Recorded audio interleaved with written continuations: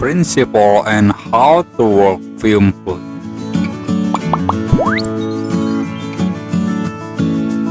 When I was in chemistry laboratory, my eyes are fixed on an object like a carpet.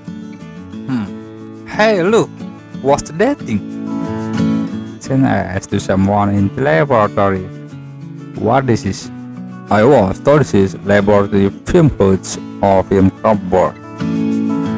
The hood is safety equipment in the laboratory with a special design that will reduce exposure to harmful gases, dust, toxic vapors. The fume hood is basically an aerodynamic cleaning device that has a large cupboard at the bottom that functions as a plate or table. The working principle of the fume hood suck air from the front door and then the blower is released into the filter. Material used for fume hoods have the following requirements. Resistant to organic chemicals, resistant to chemicals that are corrosive, acids and bases, resistant to an, an explosion. Part of the fume hood 1 says, a sliding door disease, a safety guard, usually made of glass or acrylic. 2. Lighting equipment, positioned inside the fume hood, a fluorescent lamp for lighting. 3. Top table or work table, made of phenolic resin that is resistant to chemicals. 4. Sink, where the device washes after the try to keep it clean. 5. Faucet, water tap for washing, and rinsing tools.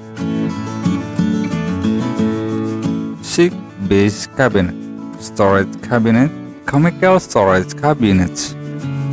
7. Button operating switches consisting of the on-off button, stop contact, power lamp, lamp power. 8. Sidewall wall disease resistant to steam and chemical spills. 9. Airflow velocity to regulate airflow velocity. 10. Vapors Reduce the flow of air so that it can be sucked effectively by the blower. 11. Ducting, a pipe for air output. 12. Blower a tool that has the function of sucking air and throwing it out.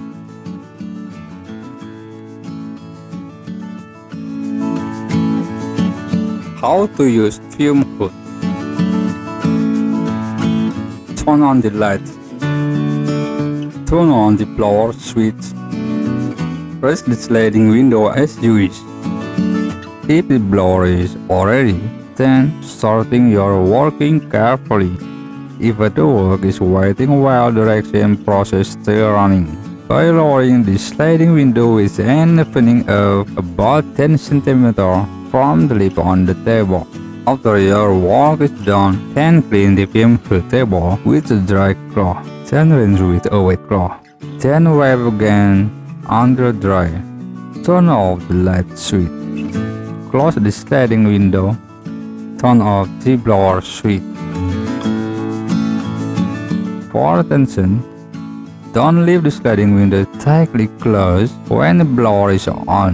A vacuum will appear in the fume hood.